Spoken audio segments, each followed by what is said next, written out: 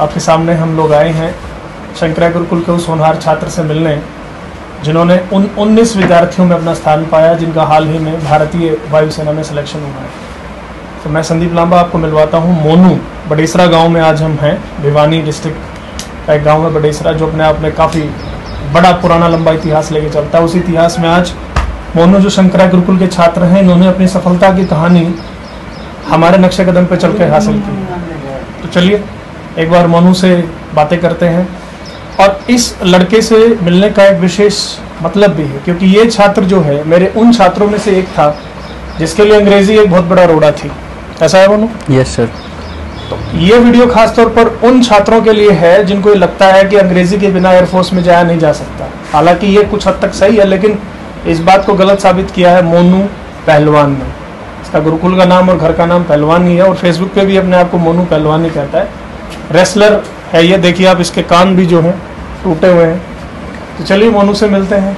मोनू बेटा ये जो आपने एयरफोर्स वाई ग्रुप में वाई ग्रुप में आपका सिलेक्शन हुआ है। सर तो इसको लेके आपके परिवार में आपको लेके कैसा महसूस हो रहा है? आपको कुछ बताना चाहोगे लोगों को ताकि आप उनके लिए उदाहरण बने? सर मेरे को बहुत अच्छा फील हो रहा है कि मेरा एयरफोर्स में सिलेक्शन हुआ है।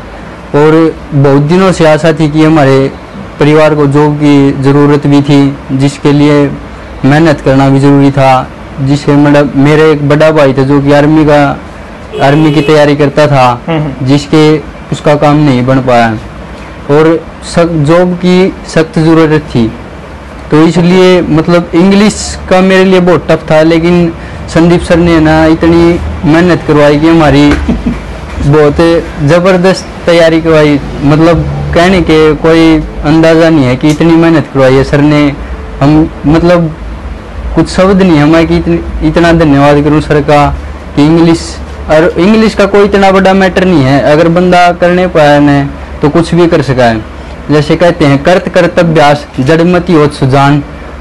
आज आवत जावत रस्सी पथ पर कर निशान। वेरी गुड शाबाश। तो इस सरलार्थ को देखते हुए हम ये कह सकते हैं भी कुछ भी बंदा अगर करने पे आए तो कुछ कर सकता है। तो बेटा जैसे आप शंकरा गुरुकुल में रहे आपने कितना समय वहाँ पे बिताया? सर वहाँ पे मैंने लगभग तीन महीने वहाँ पे समय बताया। हम्म, बहुत अच्छा स्थान है और मैं और बच्चों से भी आशा करूँगा कि वहाँ पे जाएँ और वहाँ की जो फैसिलिटी हैं उनको ध्यान में रखते हुए मेहनत करें और एक लक्ष्य की प्राप्ति की ओर जाने के लिए मैं सभी बच्चों को इनवाइट करूँगा कि वो शंकराय गुरुकुल को ज्वाइन करें। तो देखा बच्चों, आपने मोनू, पहलवान से लेकर और वायुसेना का योद्धा बनना इस बच्चे के लिए नहीं, बल्कि इसके परिवार के लिए भी एक बड़ी गर्व की बात है। मैं आपको आज इनके परिवार से भी मिलवाऊँगा, क्योंकि ग्रामीण देहात में जब एक बच्चा इस प्रकार से उपलब्धि हासिल करता है तो शंकरा गुरुकुल का कद और भी ऊँचा हो जाता है। हालाँकि हमारा मार्गदर्शन था, लेकिन मेहनत इस बच्चे की है। तो शंकराय गुरुकुल से जुड़ने के लिए आप स्क्रीन पर दिए गए नंबर्स और एड्रेस पर ध्यान दें।